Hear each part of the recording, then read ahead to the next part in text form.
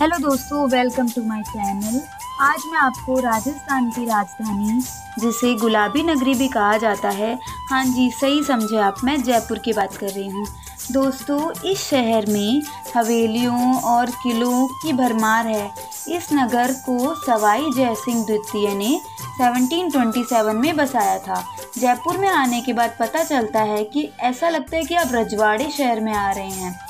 शाही साफा बांधे जयपुर के बन्ना, लहंगा चुन्नी पहने सजी नारियाँ, गपशप मारते जयपुर के वृद्ध लोग, राजस्थानी भाषा में कितनी प्यारी बोलियाँ, जैसे पधारो सा, बैठो सा, खाओ सा, कितनी सुहावनी लगती है।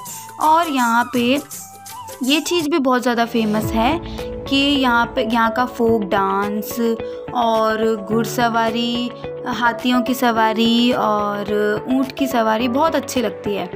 तो मैं आज आपको आठ फ़ेमस जगहों के बारे में बताऊँगी जयपुर की, जहाँ आपको घूमने में बहुत मज़ा आएगा। पहली है जंतर मंतर। जंतर मंतर सवाई जयसिंह द्वारा 1728 से 1738 के बीच बना एक वैधशाला है। इस वैधशाला में 28 प्रमुख यंत्र है जो समय मापने, ग्रहण की भविष्यवाणी करने, किसी तारे की गति एवं स्थिति जानने, सौर मंडल के ग्रहों के दिक्पात जानने आदि में सहायक है। यह बच्चों को बहुत पसंद आता है। बच्चों को यहाँ ज़रूर लेके जाएँ। और सेकंड है जल महल यह एक प्रसिद्ध ऐतिहासिक महल है। जल महल जयपुर के मानसागर झील के मध्य स्थित है। इसे झील के बीचों बीच होने के कारण आई बॉल भी कहा जाता है। इसे रोमांटिक महल के नाम से भी जाना जाता है। यहाँ की नर्सरी में एक लाख से भी ज़्यादा पेड़ लगे हैं, जो राजस्थान के सबसे ऊँचे पेड़ है। इसमें थर्ड है आम्बर पैलेस। इसे आमेर का किला या आमेर दुर्ग भी कहा जाता है। यह जयपुर के आमेर क्षेत्र में एक ऊँची पहाड़ी पर स्थित एक पर्वतीय दुर्ग है। यह देखने की सबसे पसंदीदा जगह है। इसका निर्माण राजपूत मान सिंह ने करवाया। यह महल अपने कलात्मक, विशुद्ध हिंदू वास्तु शैली के लिए बहुत ज़्यादा प्रसिद्ध है। यह पहाड़ी के निचली बिंदु पर स्थित है। चौथा है हवा महल। इस महल को सन 1799 में महाराजा सवाई प्रताप सिंह ने बनवाया था।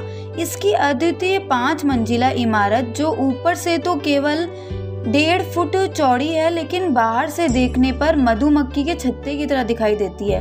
इसमें 143 बेहद खूबसूरत व जालीदार खिड़कियाँ हैं, जिसे झरोखा कहते हैं। इसी प्रकार इसका नाम हवा महल पड़ा। फिफ्थ है city palace, Jaipur. City palace Jaipur Rajasthan की सबसे प्रसिद्ध ऐतिहासिक व सबसे ज़्यादा पसंदीदा जगह है। यह जयपुर के बीच में स्थित है। इसमें कई इमारतें, विशाल आँगन और बाग भी है, जो इसके राजसी इतिहास की निशानी है। में चंद्र महल और मुबारक महल भी है, जहाँ पिछले जमाने की कीमती सामानों को दिखाया गया है। इसको देखने के लिए दूर दूर से लोग आते हैं, लेकिन अभी ये टेम्परेली क्लोज है। सिक्स है बिरला मंदिर। जयपुर के इस मंदिर का निर्माण 1988 में बिरला द्वारा किया गया। सफ़ेद संगमरमर से निर्मित बिरला मंदिर की संरचना प्राचीन हिंदू वास्तुकला शैली और आधुनिक डिज़ाइन का मेल देख सकते हैं। इस मंदिर की दीवारों को देवी देवताओं की गहन नक्काशी, पुराणों और उपनिषदों के ज्ञान भरे शब्दों से सजाया गया है। इस मंदिर को लक्ष्मी नारायण के रूप में भी जाना जाता है और और ये लॉकडाउन में भी खुला है। सिक्स है हमारा अर्ट हॉल म्यूज़ियम यह राजस्थान का सबसे पुराना म्यूज़ियम है। यह भारत अरबी शैली में बनाई गई एक बिल्डिंग है। इस संग्रहालय में पुरातात्विक और हैंडीक्राफ्ट का सामान का विस्तृत संग्रह है। इसका निर्माण 1887 में पूर्ण हुआ। यहाँ यूरोप मिश्र चीन, ग्रीक सहित अन्य जगहों की सभ्यता की प्रमुख घटनाएँ चित्रित है। इसके साथ ही यहाँ इजिप्ट की मम्मी की मूर्तियाँ हैं, जो कि देखने वालों के, की पसंदीदा चीज़ें हैं।